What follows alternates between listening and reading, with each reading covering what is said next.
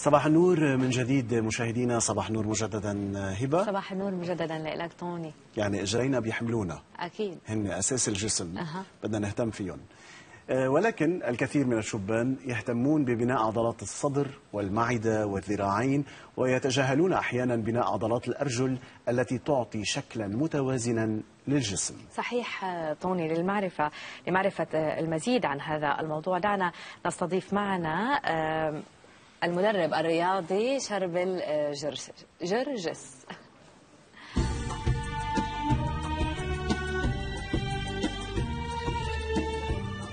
صباح النور صباح النور شربل. صباح النور. ليش بحسك جيت ركض على الاستوديو اليوم؟ بدي بلش حمل تمارين جاي. عن الاجرين خبرنا عن عضلات الأرجل كنا عم نقول إنه بننساهم أحيانا وبنتجاهلهم بس لأنه يمكن الجهة الفوقية بالجسم بتعطي حضور مزبوط أكثر مزبوط خطأ العالم. بيركزوا على ال على ال القسم ال ال- الأعلى. الفوق من ال- من الجسم وبينسوا ال legs الإجرين نعم. تمارين الإجرين so نحن بدنا نقول إنه من أهم التمارين هي تمارين الإجرين ليش؟ لأنه هي بتسرع الدورة الدموية بالجسم بتغذي كل ال- العضلات الجسم بتغذيهم من وراء تمارين الإجرين لأنه هي بتكون الدورة الدموية بتسرع بيعلى ال metabolism بالجسم. so كله له وبننحف بننحف آه، أسرع بنخسر وزن. أكيد أكيد أكيد. صحيح. طب خلينا نبدأ آه، بال- بالتمارين. okay.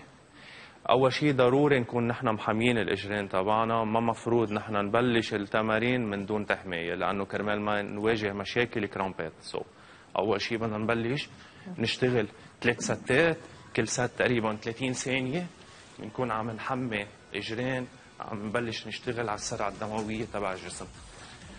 okay؟ من بعد ما نكون حمينا الإجرين بدنا نبلش أول حركة هي ال squat.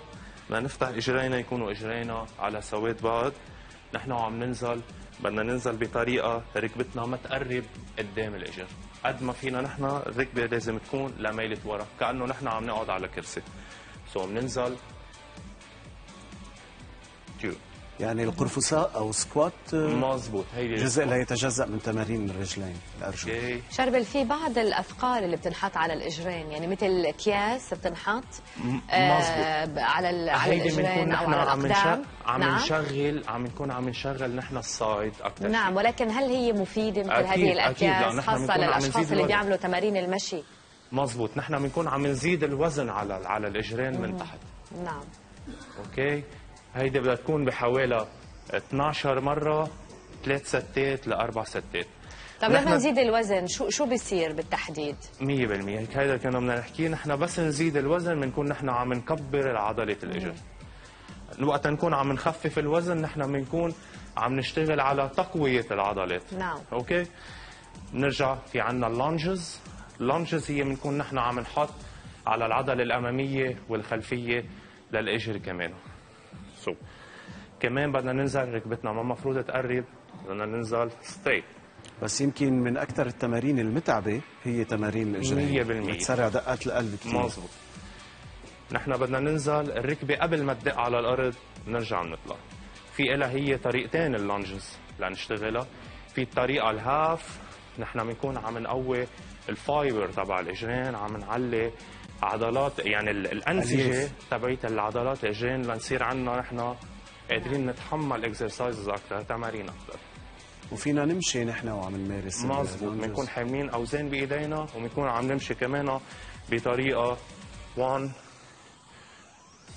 2 شربل للاشخاص اللي عندهم أوجاع بالركبة نعم. شو الحل كيف بيقدروا إنه يقوي عضله okay. يقوي عضلات فينا إيه؟ نحن نكون عم نشتغل عنا هيدي التمرين لعضلة الإجر بنكون حاطين اللي كنت عم تقولي لي عنه الوزن اللي بنحطه على الاجر نعم. كمان بنحط الوزن بنكون عم نطلع straight 1 2 بنكون عم نشتغل نحن على الركبة تبعنا.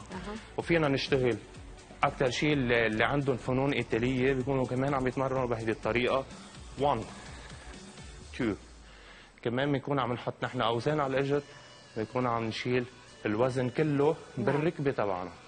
وهي هيدي المفروض نعمل تمارين لأنه دائما بس نكتر التمارين بنكون نحن عم عم نخسر الركبة تبعنا. لهذا السبب لازم نعمل لها ريفرش طب لما بنعمل هالتمرين اللي بتكون فيه آه، مثل ما انت عملته آه، الآن نعم. هل المفروض إنه الرتبه الثانية تكون مستوية أو تكون ملتوية؟ لا لازم أكيد تكون مستوية. لازم تكون جالسة الركبة. نعم. دائما لازم تكون جالسة. هلأ نحن دائما وقت يكون في leg press بال gym بالنوادي الرياضية في شيء اسمه leg press بنكون قاعدين على الكرسي عم نعمل دفع نعم. للأوزان هيدي الطريقة ممنوع نحن نفتح الركبة على الآخر أها. لأنه ممكن الركبة إذا فتحت على الآخر يصير عندنا injury فيها تقوم تنكسر إصابة. على الوزن نعم. so دائما لازم نحن عم نطلع نكون عم نطلع بهيدي الطريقة ما مفروض تفتح على الآخر okay so في عندنا sumo squat sumo squat بنكون عم نشتغل على العضلات الداخلية تبعت نعم. الاجرين okay sumo squat بهيدي الطريقة على شكل سبعة حننزل فيها حنطلع. اللي هي القرفصاء اليابانية. مظبوط. so حننزل رح نطلع. فينا كمان نحمل وزن بإيدنا kettlebell اما دمبل للقطع بنكون عم ننزل. دائما ظهرنا المفروض يكون جالس ما مفروض ظهرنا يكون دافش لقدام. okay حننزل. شربل في ناس آه، اجريهم آه، بيجوا معضلين أو شكلهم حلو بالوراثة. نعم. وفي ناس بدهم يربوا. مظبوط. حتى في ناس البطاط الاجرين عندهم بتبقى قوية بالوقت يلي الفخذين مثلا رفاع. مظبوط. آه، بيركزوا على جهة من الأرجل أكثر من الثانية هي- بالتمرين؟ هي هيدي. ب- هلأ كمان في طريقة ال- في ناس عندهم genetic بتصير القصة. صحيح وراثية. يعني مثل ما عم تقلي وراثية. يعني في عالم ما بتمرن إجرين بيكون عندهم عضل كبير. في عالم بتمرن كثير إجرين وما بيكون عندهم العضل يعني ما بتكبر العضلة تبعهم. مثل ما كمان في عضلات بالجسم بتكون كمان genetic إذا ما مرنوها بتكون كبيرة. so بدنا نمرنها أكثر مزبوط 100% اللي منا. قوية أصلا. so هلأ رح نشتغل side رح نشتغل على ال- على خارج ال- ال- الإجر. okay؟ كمان بنحط وزن وفينا نحط نحن الوزن اللي عم تقولي لي كنت عنه. وفينا نحمل نحن وزن plate بإيدنا الصحن أما فينا نحط دمبل ونطلع فيها side نطلع فيها side نكون عم نشتغل في عالم كمان بيقدروا يناموا على الأرض. في عالم بيشتغلوها على الأرض أكثر كرمال ما بيكون عندهم ال balance كفاية ليكونوا واقفين وعم. يطلعوا فيها. نعم. okay؟ so بيقدر ينام على هيدي رح الأرض. تكون آخر حركة لنا شربل بيقدر ينام على الأرض بيطلع فيها 1 2 بيكون كمان عم يشتغل على خارج العضله نعم. okay اهم شيء دائما بنصح كل شخص بس يخلص التمرين ضروري ضروري يعمل stretching للعضلات كنت عم لك أنا بالاجمال آخر تمرين آه، آه، بمارسه كثير لأنه آه، وراثيا مثل ما قلت لك عندي هون رفيع وضعيف سو لازم. تركز أكثر على هيدي الم... هيدي الم... هيدا المطرح وضروري ضروري كمان نحن ما مثلا مش دائما نفس التمارين نكون عم نتمرنهم لأنه بنوصل لمطرح بنبطل نستفيد توصل لمطرح العضله خلص بتبطل تستوعب خاصة مع التمرين. الكبر بالعمر. نعم. نعم. اذا المدرب الرياضي شربل جرجس نعم. آه، أنا كنت عم؟ بحكي عنك إنه مع الكبر بالعمر. أنت يعني كملت 30 الموضوع سنة كبير كثير يعني مش عم بفهم. مش مبين. مش. مبين مبين بال 21